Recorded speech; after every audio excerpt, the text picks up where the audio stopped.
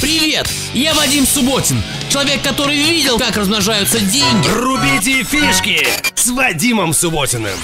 Сейчас я живу в Москве, как и все вы. Я хожу по улицам, по магазинам, по общественным местам. И я удивляюсь, откуда столько бедных людей? А что же делается за МКАДом? А ведь и там есть жизнь. Я лично проверял. Конечно, сейчас вы начнете все рассказывать, что в России все воруют, что чиновники берут взятки, что работодатели зажимают зарплату. Я не собираюсь вас слушать. Мне не интересно. Идите вы к черту с вашими рассказами. Почему вы думаете, что лично о вас все должны заботиться? Единственный человек, который может реально о вас позаботиться, это вы сами. Это закон природы. Задумайтесь, что именно вы сделали, чтобы стать чуточку богаче? Устроились на работу? Сидите в офисе по 8 часов в день, 5 дней в неделю? Вы довольны своей зарплатой? Тогда можете дальше не смотреть. Моя программа не для вас. Вы еще смотрите? Значит, не все потеряно. Итак, как можно заработать деньги, не работая на чужого дядю? Вы слышали когда-нибудь такие слова, как фондовый рынок, биржа, акции? Наверное, слышали и не раз. Но пока для вас это просто слова. Но на самом деле это магические слова. Когда я их произношу, в моем организме происходят такие вещи, о которых я даже стесняюсь говорить. Однажды я вышел на улицу и решил спросить прохожих, что такое фондовая биржа, что такое акция, облигация. И вот что я услышал в ответ. Фондовая биржа, честно говоря, я не знаю. А На фондовой бирже работают люди с деньгами, с финансовыми потоками. Собачка такая. Я правда, я не знаю ничего. Ничего не приходит. Может быть, э, название института какого-то или еще что-то, аббревиатура. Реклама видела. То, что можно заработать денег, но никогда с этим не сталкивался. Не знаю, усами. Видимо, разными финансами, не знаю точно. Трейдер продает, а брокер перепродает. О, Понятия не имею. Сказать, что я был в шоке, это ничего не сказать. По правде говоря, я просто обалдел. Да чего же экономически безграмотно население нашей страны? После этого общения с вами я ушел в запой на два дня.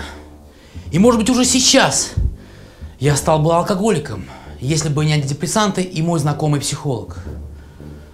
Он сказал, Вадим, перестань пить. Встань и иди. Расскажи этим людям, что такое финансовые рынки, фондовая биржа, акция.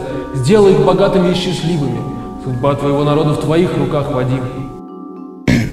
Ну, может быть, он этого не говорил. Просто я выпил много виски.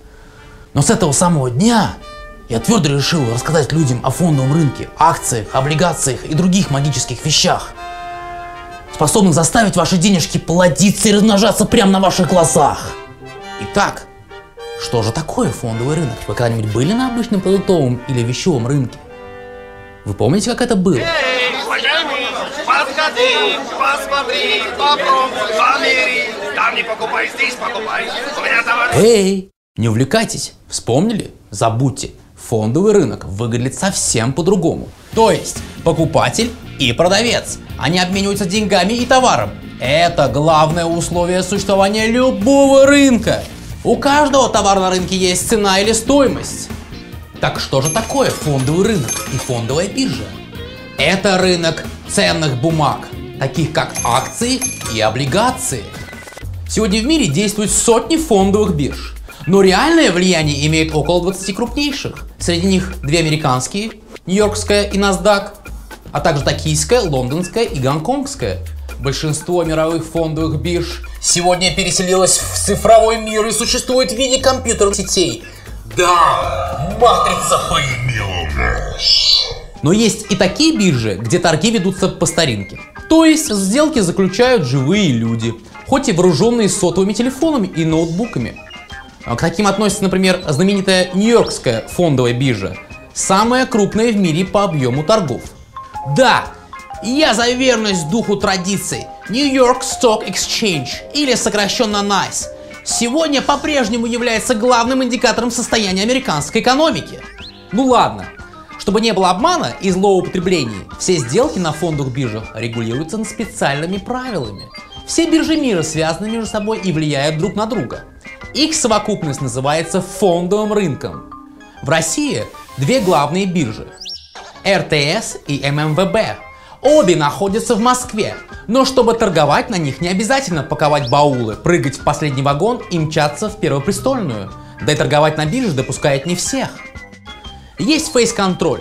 Точнее, нужна бумажка, сертификат о том, что вы являетесь профессиональным трейдером или брокером. Но что делать, если брокеров и трейдеров не водится даже среди ваших самых дальних родственников? Отчаиваться не стоит. Эти ценные люди есть в каждом инвестиционном банке, которых в России около тысячи. Наверняка они добрались уже до самых до окраин нашей необъятной родины. Мало того, они только и ждут встречи с вами. А покупать и продавать бумаги можно с помощью специальных программ по сети интернет. А можно просто позвонив своему брокеру по телефону. Усвоили? Ну ладно, на сегодня, пожалуй, хватит. Пока ваш мозг недостаточно окреп, информацию я буду давать диетическими дозами. Так что урок закончен. Все стали и вышли из класса. И не забудьте закрепить пройденный материал. Я проверю завтра же. А пока, пока. С вами был я, искренне ваш Вадим Субботин.